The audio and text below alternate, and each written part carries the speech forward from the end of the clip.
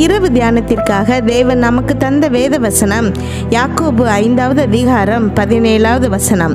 எலியா என்பவன் நம்மை போல பாடுள்ள மனுஷனாயிருந்தும் மழை பெய்யாத படிக்கு கருத்தாய் ஜெபம் பண்ணினான். அப்பொழுது மூன்று வருஷமும் ஆறு மாதமும் பூமியின் மேல் மழை பெய்யவில்லை. கிறிஸ்துவுக்குள் பிரியமானவர்களே தேவன் நம்மை அறிந்திருக்கிறார். நம் இருதயத்தின் நினைவுகளை அவர் அறிந்திருக்கிறார். உண்மையாகவே அவரை விசுவாசிக்கிறோமா? இல்லை வாயினால் வெறும் அறிக்கை மட்டும் சொல்லுகிறோமா? என்பதையும் அவர் அறிவார். நான் வேலைக்கு சேர்ந்த நாளிலிருந்து தேவன் எனக்கு கொடுத்த ஒரு வாக்கு தத்தத்தை நான் இன்று வரை அறிக்கை செய்து வருகிறேன். அது நான் உன்னை கீர்த்தியும் புகழ்ச்சியுமாய் வைப்பேன் என்பதே அந்த வாக்கு தத்தம் ஒரு முறை நான் ஒரு ஊழியக்காரரிடம் போய் ஜெபிக்கும்போது அவர் இதே வசனத்தை சொல்லி நான் எப்பவும் இதை அறிக்கையிடுவதாக சொன்னார். எனக்கு மிகவும் சந்தோஷம். அவர் சரியாக சொல்லிவிட்டார் என்பது அல்ல என் சந்தோஷம். நான் தினம் தினம் இந்த வாக்கு வாக்குத்தத்தத்தை அறிக்கையிடுகிறேன் விசுவாசிக்கிறேன் என்பதை தேவன் தானே இந்த ஊழியக்காரருக்கு வெளிப்படுத்தியுள்ளார். அப்படி என்றால் நான் ஒவ்வொரு முறை அறிக்கையிடும் போதும் தேவன் அதை கேட்கிறார் என்பதுதானே அர்த்தம். அதுதான் என்னை மகிழ்ச்சிப்படுத்தியது. அதே மாதிரி தான் இன்னொரு முறை மிகவும் பொருளாதார நெருக்கடியில் இருக்கும்போது நானும் என் கணவரும் தொடர்ந்து கரங்களை பிடித்து ஜெபித்து வந்தோம். ஒரு நாள் ஒரு தேவ மனிதர் ஒரு குறிப்பிட்ட காணிக்கையை அனுப்பி தேவன் என் இருதயத்தில் ஏவினார் என்று சொன்னார். எங்களுக்கு மிகுந்த மகிழ்ச்சி. காரணம் அவர் அனுப்பின காணிக்கை அல்ல. தேவன் நம் வேண்டுதல்களை நம் இருதயத்தின் நினைவுகளை அறிந்திருக்கிறார் என்பதே மகிழ்ச்சிக்கு காரணம். நாம் ஒவ்வொரு முறை ஜெபிக்கும் போதும் தேவன் அதை கேட்கிறார் என்பதை நாம் உணர வேண்டும். வாயினால் அல்ல நம் தேவனை விசுவாசிக்கிறேன் என்பதை இருதயத்தால் நாம் அறிக்கையிடுவதை அவர் அப்படியே கேட்கிறார் என்பதை நாம் உணர வேண்டும். எளியா ஜெபித்தபோது மழை வராமல் நின்று போனது. மறுபடியும் ஜெபித்தபோது மழை வந்தது. வேதம் சொல்கிறது எலியாவும் நம்மை போல் பாடுள்ள மனிதன் என்று. வேதத்தில் உள்ளவர்கள் எல்லாரும் மிக பெரிய ஆட்கள். அதனால்தான் அவர்கள் வேண்டுதல்கள் கேட்கப்படுகிறது என்பது அல்ல. பிரியமானவர்களே நம் வேண்டுதல்களையும் தேவன் அதே மாதிரி தான் பார்க்கிறார். எலியாவின் ஜெபத்திற்கு கொடுக்கப்படுகிற அதே முக்கியத்துவம் என் ஜெபத்திற்கும் உங்களுடைய ஜெபத்திற்கும் கொடுக்கப்படுகிறது. ஜெபிப்போமா. எங்கள் அன்பின் பரலோக தகப்பனே இன்று முழுவதும் என்னையும் என் குடும்பத்தில் இருக்கிற ஒவ்வொருவரையும் நீங்கள் பாதுகாத்தீங்கப்பா. அதற்காக உமக்கு நன்றியப்பா அப்பா ஏசப்பா. இன்றைய நாளுக்காக நன்றி. அப்பா நீங்கள் எங்களுக்கு தந்திருக்கிற இந்த வசனத்திற்காக நன்றி அப்பா. அநேக முறையப்பா நாங்கள் சந்தேகத்தில் இருக்கிறோம். அமேன் எங்களுடைய ஜெபம் கேட்கப்படுகிறதா என்பதை. அப்பா குறித்த சந்தேகம் உள்ளது ஏசப்பா இன்று என்னோடு ஜெபித்து கொண்டிருக்கும் ஒவ்வொரு பிள்ளைகளையும் ஏசப்பா உங்கள் கரத்தில் ஒப்படைக்கிறோம்ப்பா. அமேன் எங்களுக்கு ஒரு தெளிவான அப்பா பதிலை நீங்கள் கொடுத்துருக்கீங்க. எங்களுடைய எல்லா ஜெபங்களையும் நீங்கள் கேட்குறீங்கப்பா. உங்கள் சமூகத்தில் எங்களுடைய ஜெபங்கள் வேண்டுதல்கள் எல்லாம் வந்து அடைகிறது என்பதை நாங்கள் விசுவாசிக்கிறோம்ப்பா. அதுக்காக உமக்கு நன்றி. அமேன் அப்பா கடன் பிரச்சனைக்காக குழந்தைக்காக அப்பா குடும்பத்தில் உள்ள பிரச்சனைகள் கணவன் மனைவி பிரச்சனைக்காக தொடர்ந்து எவ்வளவோ நாட்கள் எவ்வளவோ மாதங்கள் எவ்வளவோ வருடங்கள் அப்பா உங்களுடைய பிள்ளைகள் ஜெபித்து கொண்டு இருக்கிறாங்கப்பா அவங்களுக்கெல்லாம் இருதயத்தில் ஒரு சோர்வு. யார் என்னுடைய ஜெபத்தை கேட்கிறா? யார் என்னுடைய ஜெபத்தை கேட்கிறா? என்ற சோர்வு இருக்குது ஏசப்பா. இன்றைக்கி நீங்கள் அவங்க எல்லாத்துக்கும் பதில் கொடுத்துருக்கீங்க. அம்மேன் ஒவ்வொருத்தருடைய ஜெபத்தையும் நீங்கள் கேட்குறீங்க ஏசப்பா. அம்மேன் நீங்கள் கேட்குறீங்க அப்படிங்கிறது மட்டும் எங்களுக்கு போதும். போதும்ப்பா ஏன்னா கரெக்டான சமயத்தில் நீங்கள் அதுக்கு பதில் தர வல்லவராக இருக்கீங்கப்பா.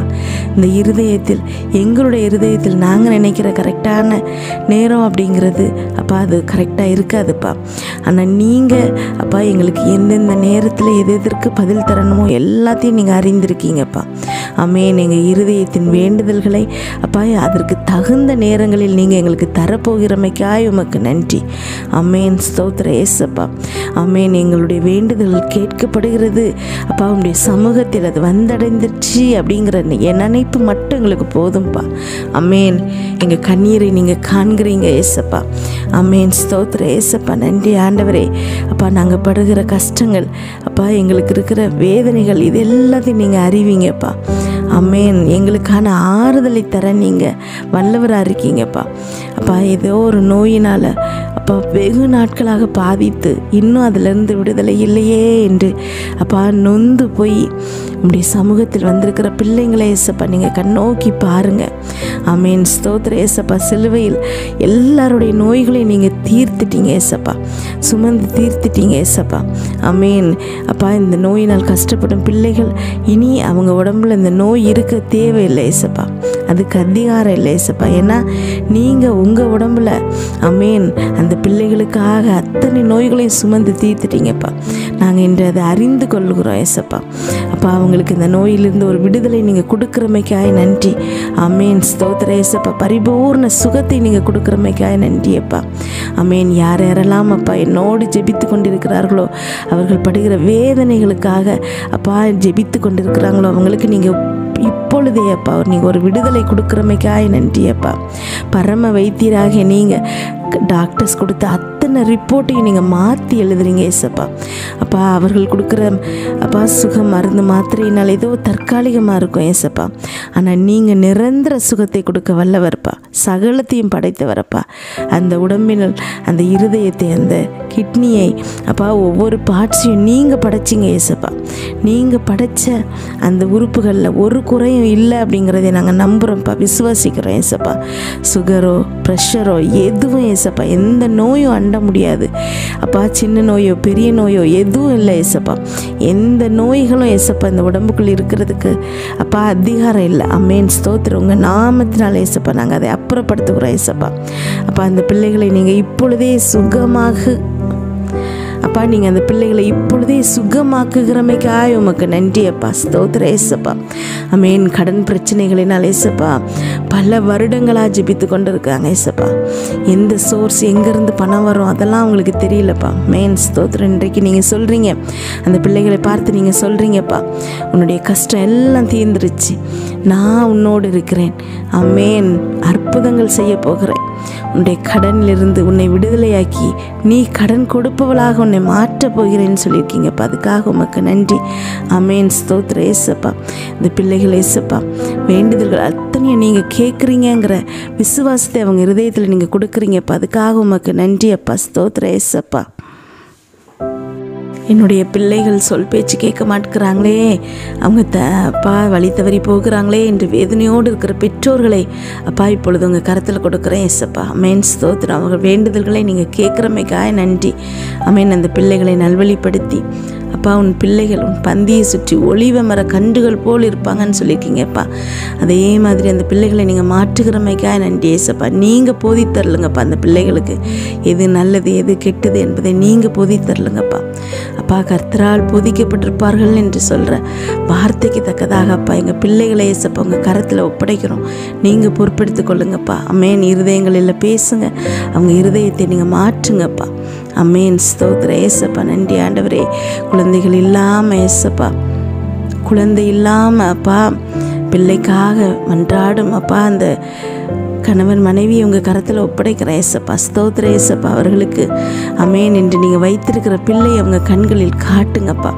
அவங்க கர்ப்ப பையில் ஏசப்பா இந்த கரு உருவாவதாக உம்முடைய நாமத்தினப்பா நாங்கள் ஜெபிக்கிறோம் ஏசப்பா ஸ்தோத்திர ஏசப்பா. அமேன். எல்லா விதமாக இந்த பிள்ளைகளை நீங்கள் ஆசீர்வதிங்கப்பா. சமாதானத்தை கொடுங்கப்பா. நோய்களிலிருந்து விடுதலை கொடுங்கப்பா. செழிப்பாக இருக்க வைங்க ஏசப்பா. அமேன் ஸ்தோத்திர ஏசப்பா. உண்மை தேடுவதில் ஒரு வாஞ்சை உண்டு பண்ணுங்கப்பா. இந்த உலகத்தில் எல்லாவற்றிற்கும் மேலாக உண்மை நாங்கள் வைக்கணும் ஏசப்பா. ஸ்தோத்திர ஏசப்பா. எங்கள் எல்லாருடைய இருதயங்கள் ஏசப்பா. அப்பா உண்மை நோக்கி அப்பா நாங்கள் மன்றாடும் போது நீங்கள் எங்கள் ஜெபத்தை கேட்குறீங்கிற விசுவாசத்தை எங்களுக்கு துவக்குங்கப்பா. அமேன் ஸ்தோத்திர ஏசப்பா நீங்கள் எங்களோடு இருக்கீங்க. அப்பா எங்களை வழி நடத்துறீங்க. எல்லா பிரச்சனைகளுக்கும் எங்களை தப்பு வைக்கிறீங்க. அப்பா எங்களை தாங்குறீங்க ஏந்துறீங்க. அமேன் ஸ்தோத்திர ஏசப்பா அதுக்காக உமக்கு நன்றி. அப்படியே கண்ணின் மணி போல் எங்களை பாதுகாக்கிறமைக்காய் நன்றி. எல்லா நேரங்களிலும் ஏசப்பா உடைய பிரசன்னத்தை நாங்கள் உணரணும்ப்பா. நீங்கள் எங்களோடு இருக்கீங்கங்கிறதை நாங்கள் உணரணும். அப்பா இன்று இரவு நாங்கள் தூங்கும்போது எங்களுக்கு சுகமான நித்திரையை கொடுங்கப்பா. அப்பா நல்ல சொப்பனங்களை கொடுங்க. வீட்டை சுற்றும் ரத்தத்தை நாங்கள் தெளிக்கிறோம். அதிலிருந்து புறப்படுகிற வல்லமை எல்லா பொல்லாப்பு அப்பா பொறாமை பிரச்சனை எரிச்சல் கெட்ட ஆவிகள் பில்லி சூனியம் சாபம் பாவம் எல்லாத்துலேருந்து எங்களை விடுதலை செய்து. அப்பா வீட்டை சுற்றி ரத்தத்தை தெளிக்கிறோம்ப்பா. அதிலிருந்து புறப்படுகிற வல்லமை எல்லா பொல்லாப்பு பொறாமை எரிச்சல் கெட்ட ஆவிகள் பில்லி சூனியம் மந்திரம் தந்திரம் எல்லாவற்றிலிருந்து எங்களை விடுதலை செய்வதாக. நாளை காலை எழுந்திருக்கும் போது புதிய கிருபையால் எங்களை தாங்குங்கப்பா. இதை கேட்டுக்கொண்டிருக்கும் ஒவ்வொருவரின் இருதயத்தையும் உடைய கிருபையினாலும் சமாதானத்தினாலும் பலப்படுத்துங்க. இயேசு கிறிஸ்துவின் மூலம் ஜெபம் கேளும் நல்ல பிதாவே. அமேன்